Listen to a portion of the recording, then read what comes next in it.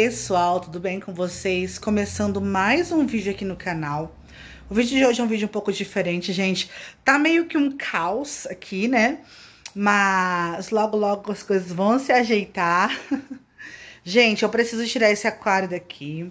Como vocês viram aí no último vídeo, eu comprei a minha máquina de costura, graças a Deus. Então eu preciso de bastante espaço. E esse aquário ocupa aqui, gente, uma boa parte da minha bancada, tá vendo? Então, fica difícil pra eu gravar videoaula, pra eu treinar costura, pra tudo. Então, eu desmontei esse aquário aqui, montei um menor ali na minha sala, ó, menorzinho. E esse aqui eu vou desativar por enquanto até a gente comprar o suporte pra ele, gente, porque ele é um aquário bem grandão, se eu não me engano, ele tem 85 litros, 90 litros, não me lembro agora. E é isso, gente. Eu não vou mostrar tudo passo a passo, mas eu vou mostrar aqui para vocês cada detalhe, cada etapa dessa transformação aqui no ateliê. Quero encapar, por enquanto, essa parte aqui que tá em pátina, porque a pátina, como é branca, acabou sujando, porque eu não, eu, eu não, eu não tratei a pátina, gente. Eu só fiz, tá vendo ali, ó? Então, depois eu vou vir pintando novamente, eu vou compartilhar tudo com vocês. E esse ateliê agora, a partir de agora, vai ser um ateliê de crochê barra costura, pessoal. É isso mesmo, tá? É, como vocês viram, vou iniciar aí com a costura criativa. Então, esse, ateliê, esse ateliê, por enquanto, vai ser é, crochê barra costura, mas vai vir muitas novidades, gente. Então, se você não é inscrito no canal, já se inscreve no canal, ative o sininho de notificações para não perder nenhum, nem, nenhum número, nenhum vídeo, tá bom, pessoal? Me siga também nas redes sociais. Todas as minhas redes sociais vão estar aqui na descrição para vocês. E o meu WhatsApp para vocês comprarem a rifa, que é esse prêmio maravilhoso que vai estar aparecendo aqui. Gente, quem ganhar vai levar tudo isso sem custo nenhum. Vocês já imaginaram?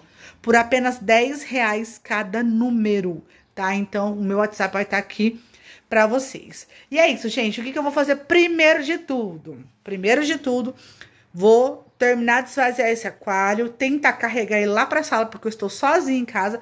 As meninas foram passar é, essa semana lá na, no sítio do meu sogro, em Votuporanga. Então, estou eu e os meus bichinhos lindos, maravilhosos aqui em casa. E a melhor companhia de todas, que é Deus, né? E então vou aproveitar para fazer essas mudancinhas enquanto elas não estão. Quero fazer alguma coisa diferente com esse quadro aqui. Vou guardar a imagem, porque não é meu, é da Ana Clara, mas eu quero usar essa moldura. Não sei se eu vou conseguir fazer isso hoje, mas reparem, gente, ó. Tá bem tumultuadinho, tá? Vou mostrar aqui pra vocês a parte do, dos, dos barbantes agora. Aqui também, gente, temos meio que uma bagunça, né? Depois vocês vão ver tudo arrumadinho. Tem papel ali amassado, tem sobra de linha, tem é, cores ali que eu tô trabalhando. É, chegaram alguns barbantes da Barbante sobrando pra mim, o... Oh, meu Deus, o macramê, gente, chegou, tá ali, ó, tá os 4 quilos ali. Notebook eu coloquei ali pra não ter perigo de molhar, né? Porque como eu tô mexendo aqui. Então, é isso, gente. Bora começar aqui. Vou tentar esvaziar primeiro de tudo esse aquário, pra depois começar aí com o restante. Bora lá. Pessoal, consegui tirar o aquário, graças a Deus. Deu, deu trabalho? Deu. Esse fiozinho aqui é da internet, então não tem o que eu fazer. Eu tenho que tomar muito cuidado com ele. O moço já me avisou quando eu venho instalar. Como ficava aqui muito juntinho da parede, vou dar uma limpadinha em tudo, ó, gente. Tá bem manchadinho, com bastante pó. E eu vou encapar. Eu só não sei se dá. Vou medir primeiro pra ver se vai dar. Se der a folha que eu tenho, eu vou encapar essa parte aqui com a mesma madeira que eu encapei a bancada lá da minha cozinha, gente. Tá com aquele mesmo tom. E aqui eu vou deixar em pátina por enquanto, tá bom? Então, essa que vai ser a mudança principal aqui hoje no canal. Quero reforçar essa prateleirinha também, que ela tá meio pensa. Mudar, sabe, algumas coisinhas aqui. E é isso. Bora lá. Se você ainda não avaliou o vídeo, não esquece de avaliar, deixando o seu like, hein? Olha só, pessoal. Vai dar e sobrar, porque tem tudo isso aqui ainda, ó. De, de, de desse, desse adesivos de madeira.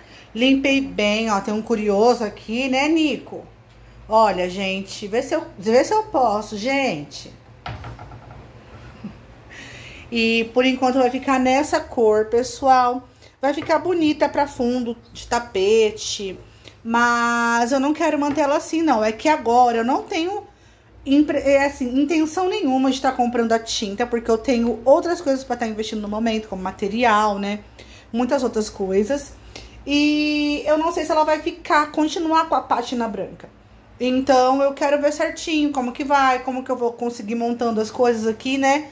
Do ateliê de costura, junto com de crochê, paletas de cor, tudo isso precisa, gente. A gente precisa levar em conta quando a gente tá montando o espaço, porque tudo tem que ficar harmônico, né? Eu preferia um tom mais claro. Mas o tom mais claro que eu tenho, eu vou até mostrar pra vocês, peraí. Olha só, pessoal, o tom mais claro que eu tenho é esse, que, que é cor de pinos, ó. Ele lembra bem o pinos, tá vendo, ó, aqui perto? Só que eu não tenho o suficiente. Ai, meu Deus do céu. É o negócio da aquário aqui. Só que eu não tenho o suficiente, gente, pra tá encapando, pra tá envelopando, tá vendo? Então, por enquanto, vai ficar assim. Quero clarear essa parede aqui mais pra frente. Então, as coisas vão acontecendo. Então, é o que eu tenho e é com isso que eu vou trabalhar no momento. Não tem o porquê eu gastar comprando outro, tá? Então, é esse que eu tenho, é esse que eu vou usar no momento. E eu acredito que vai ficar muito bonito. Olha só, pessoal, como ficou. Eu amei, gente. Amei mesmo. E o que eu gosto desse papel é que ele não mostra emenda, vendo? Tá vendo? Não dá pra perceber onde tem emenda. Eu gosto bastante do desenho dele. Ah, já tô imaginando, gente, quando eu, eu pintar essa peça aqui vai ficar maravilhosa. Tá vendo ali, gente, onde as meninas é, sentam aqui pra estudar, às vezes encosta o pé, até eu mesmo, então vai sujando. Depois quero ver se eu venho com a buchinha e limpo tudo aquilo ali também. E aqui, ó, eu já dei uma reforçada nessa prateleira. E eu vou começar a tirar essas coisinhas aqui tudo pra limpar a plaquinha do YouTube. Olha a bagunça que ficou aqui no chão, gente. Então, vou começar a organizar tudo isso agora, tá? Aí eu já venho com vocês. Quero ver se eu consigo pôr uma plantinha aqui nesse cantinho. Deixar esse cantinho bem fofinho mesmo. Outra aqui também, porque a gente é assim, né? A gente gosta de planta. Então, onde tem espaço, a gente vai colocando planta, tá? Então, é isso. Vou dar continuidade e já volto com vocês. Dia seguinte por aqui, pessoal, eu vim começar mostrando pra vocês as mudanças aqui do ateliê. Dei uma boa organizada aqui nesse cantinho. Só tem um pequeno cone ali, ó, porque não tem espaço para estar tá encaixando ele entre os, os barbantes, tá? Aqui tinha aqueles quadrinhos meus de bastidor, eu coloquei esse painel, achei que ficou bem melhor do que os quadrinhos, porque como a minha porta do quarto é de correr, quando abria, acabava atrapalhando um pouquinho. Aqui ficou o notebook por enquanto, mas isso também varia de acordo com o que eu tô usando. Quando eu estiver usando a máquina, é, é, quando eu estiver usando o notebook, a máquina pode ficar aqui, tá? Nesse espaço. E o cantinho aqui não teve tanta mudança não, gente, tá? Mas eu gostei muito da organização. E, pessoal, vale muito a pena a gente perder um tempinho aí organizando. Nem é perda de tempo, né? É ganho de tempo de qualidade. Ao invés de perder, você ganha tempo de qualidade enquanto você faz as suas encomendas, enquanto você desenvolve o seu trabalho, porque trabalhar em um ambiente organizado faz com que a gente produza mais, tá? Então, a dica aí pra você, se você tá precisando daquele trato no seu cantinho, organize, deixe tudo bonitinho. Se quiser postar a foto, marcar lá o meu arroba pra ir lá ver como que ficou. Eu vou gostar muito de ver e conhecer o cantinho de vocês aí do crochê, tá bom? Agora vamos passar aqui pra essa parte com o doguinho lindo ali. E é aqui que foi a mudança maior, gente. Eu coloquei os quadrinhos, lembrando que ainda vai ter mudanças por aqui, tá? Eu coloquei aqui os quadrinhos de bastidor. Eu amei, pessoal, como ficou aqui o tampo do meu balcão. Gostei muito de como ficou. E vocês viram, viram ó, nem parece que tem emenda, né? É bem legal trabalhar com esse, com esse adesivo aqui que imita madeira e deu uma, uma cara de mais clean. Mesmo, mesmo sendo mais escuro, mas ó, combinou perfeitamente o tom com o tom aqui, né? Mas da, da, da página, né, do fundo da, dessa peça, gente, ele, ela é de cerejeira. Então, combinou perfeitamente aqui os tons. Achei que ficou muito harmônico. Gostei muito de como ficou. Preciso de uma cadeira, né, gente? Boa. Deus vai preparar ainda. Aqui coloquei essa planta maravilhosa que tava lá fora na minha varanda. Eu trouxe ela pra cá e eu rego ela com mais frequência. Então, eu preciso regar. Coloquei um pratinho ali, gente, ó. Mas pra regar eu sempre tiro, tá? Sempre tiro, deixo ela escorrer toda. Aí depois volto ela aqui pro lugar, mas ficou bem bonitinho esse cantinho aqui. Eu gostei muito, um dos meus cantinhos preferidos. Coloquei essa telinha aqui por enquanto, mas logo, logo vai vir um painel aqui bem bonito pra eu estar tá pendurando tesouras, minhas coisas. A máquina linda que é a estrela aqui, né, gente? Ficou aqui, ó.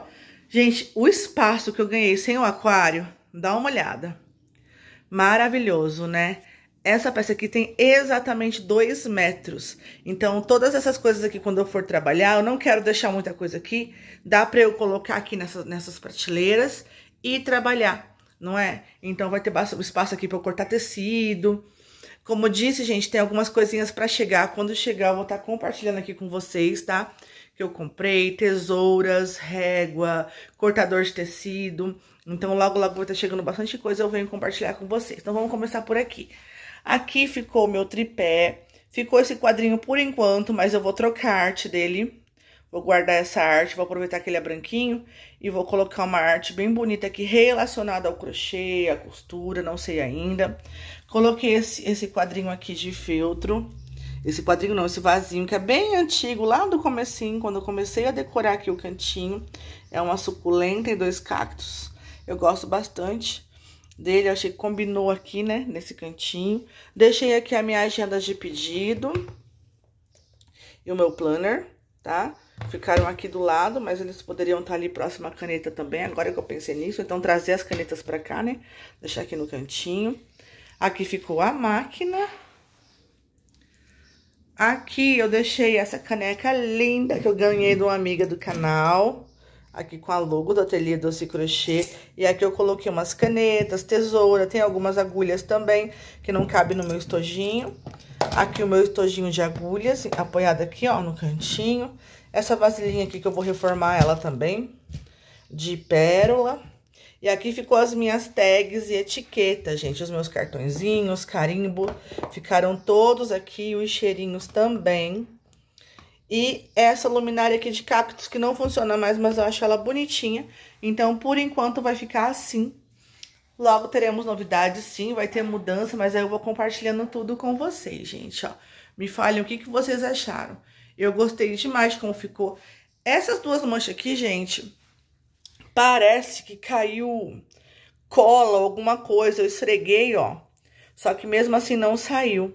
Eu não sei, ó, pode ver que é dos dois lados, parece que derrubou alguma coisa aqui. Eu não consegui tirar, mas o ateliê mais pra frente vai ser pintado, então isso não me incomoda, não me atrapalha em nada. E assim ficou o meu cantinho aqui. Quando eu estiver editando o vídeo, o notebook vem pra cá, a máquina vem pra cá, como eu já disse pra vocês, né? E... Olha o doguinho ali, gente, o doguinho. É... Comprei ração, gente, coloquei ali que eu tenho que encher a a latinha dos gatos. Acabou de chegar a ração. E é isso, pessoal. Tô muito, muito feliz mesmo com a minha máquina, com a mudança aqui no ateliê. Eu comprei esse papel pra encapar essa peça e como o aquário tava aqui, eu não tinha conseguido encapar. Mas agora a gente achei, olha, valeu super a pena. Valeu super a pena e sobrou bastante ainda papel. E assim ficou o nosso cantinho lindo, gente. Comente aqui se vocês gostaram, se vocês estão gostando desse conteúdo, se vocês querem ver mais vídeos relacionados aí à, à costura criativa, deixa aqui nos comentários, gente.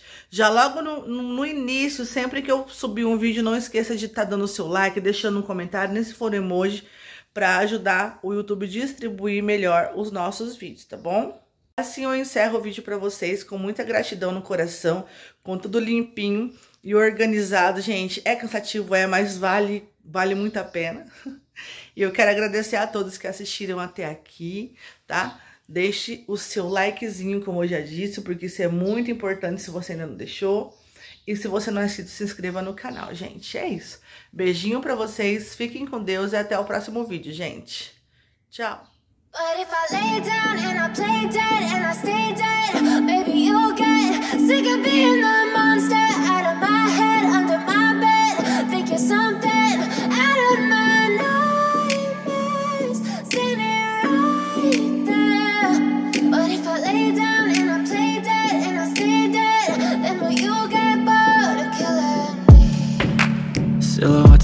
like a.